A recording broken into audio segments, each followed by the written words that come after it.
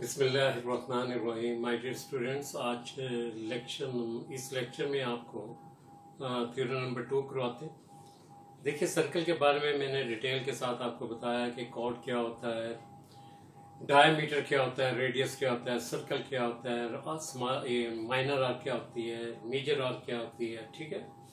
Semi circle क्या होता है inscribe circle in the semi inscribe angle in the semi circle is 90 degree right angle, ये सारी चीज़ें आपको बताई जा चुकी हैं। अच्छा आज जो थ्योरम करवाने जा रहा हूँ, वो थ्योरम क्या है? थ्योरम के पहले स्टेटमेंट समझे और फिर हम देखेंगे कि उसको सॉल्व कैसे करें। कहते हैं कि अगर straight line from the centre straight line from the centre bisect chord bisect chord यानी कि ये गिवन है कि सेंटर से एक लाइन है उसने कॉर्ड को बाइसेक्ट किया है। ठीक है? कॉर्ड को बाइसेक्ट किया है। अगर ए बी कॉर्ड है और एम उसका मिड पॉइंट ठीक है? मैं ये गिवन पॉइंट हमने खुद सपोज़ कर तो ये आपके पास था, एक सर्कल था आपके पास। विथ सेंटर रो ये कॉर्ड है आपके पास, ए बी। इसने इस कॉर्ड को बाइसेक्ट किया है। याद रखिए कि ये कॉर्ड जो है, ये डायमीटर नहीं है। डायमीटर नहीं है। Why it is not diameter because it is not passing through the centre of the right तो अब ये इसने इसको पॉइंट एम पर बाइसेक्ट किया। क्या किया जी? M is the mid point of M is the mid point of cot right आपने क्या किया? आपने ये साबित करना है कि ओ एम जो है, ये 90 का एंगल बनाता है। ओ एम ठीक है? ओ एम 90 का एंगल बनाता है। ए को मैं अगर ओ से ज्वाइन कर दू और बी को ओ से ज्वाइन कर दू तो ये हमारे पास दो ट्राइंगल बन जाती है। क्या बन जाती है? दो ट्राइंगल बन जाते नाम देना चाहे तो इनको एंगल वन एंगल टू भी दे सकते हैं। एंगल वन, जैसे आपकी बुक में दिया हमने ये साबित करना है कि एंगल वन नाइन्टी डिग्री का है, एंगल टू नाइन्टी डिग्री का है, ठीक है? तो ये चीज़ आपने साबित करनी तो इसको हम साबित करने के लिए चलते हैं। प्रीवियस क्लासेस में भी हमने डिटेल के साथ ये चीज़ें पढ़ी थी कि कोई सी तीन चीज़ों की कॉन्ग्रेंसी शो कर दें तो ट्राइंगल कॉन्ग्रेंट हो जाती कोई सी तीन चीज़ों की। दो एंगल एक साइड हो सकती है, दो साइड एक एंगल हो सकती है।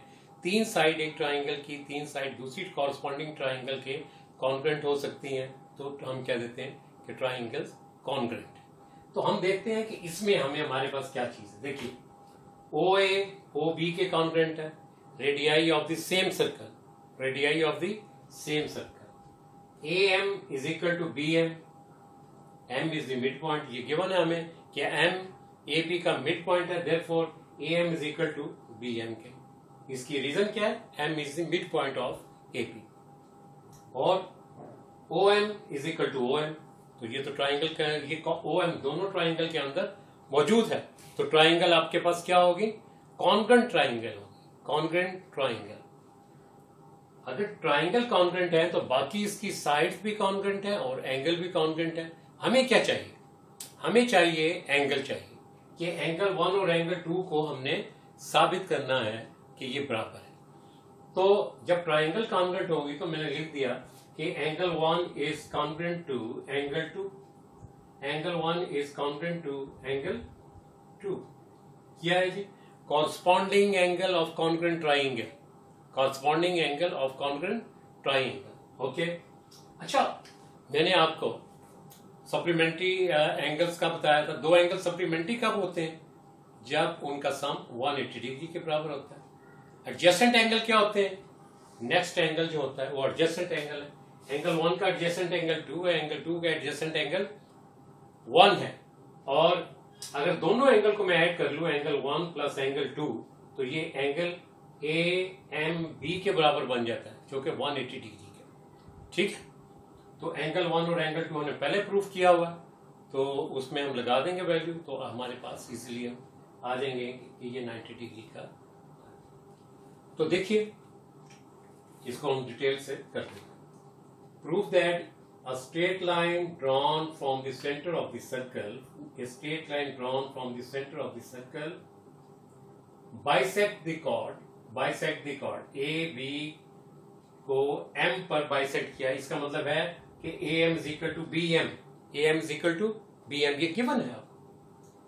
अच्छा ये ए बी आपके पास डायमीटर नहीं है। A B is not diameter ये जो कॉर्ड है, ये डायमीटर नहीं है because it is not passing through the centre of the circle अगर सेंटर ऑफ़ द सर्कल से पास होता तो ये डायमीटर ओके जी? तो गिवन क्या है जी? A circle with centre O diameter chord A B chord B M is the mid point of the chord और A B आपके पास डायमीटर नहीं साबित क्या करना है? साबित आपने करना है कि एम परपेंडिकुलर है ए बी पर। ए बी पर। या आपने ये साबित करना है कि O M A is equal to O M B is equal to ninety degree is equal to ninety degree in other word आपने क्या साबित करना है? Measurement angle O M A is equal to measurement angle B O M B किसके बराबर show करना है? Perpendicular साबित करने के लिए क्या करना शो कि ये 90 डिग्री के कि क्या है ये? 90 डिग्री के क्या किया आपने? ओ को ए से जो ए को ओ से ज्वाइन कर दिया और बी को ए और बी को ओ से ज्वाइन कर दिया। ए और बी को किस से ज्वाइन कर दिया? और इसको आपने कह दिया? एंगल वन इसको आपने कह दिया angle two right angle one and angle two तो ये चीज़ें आपके पास गिवन थी, जो चीज़ मैंने बताई और ये इसमें मैंने क्या क्या लिख दिया जनाब? गिवन लिख दिया टू प्रूव लिख दिया कंस्ट्रक्शन लिख दिया और डायग्राम आपकी बना दी गई, ठीक है? अब ये देखिए कि रीजंस और ये चीज़ें करते हैं।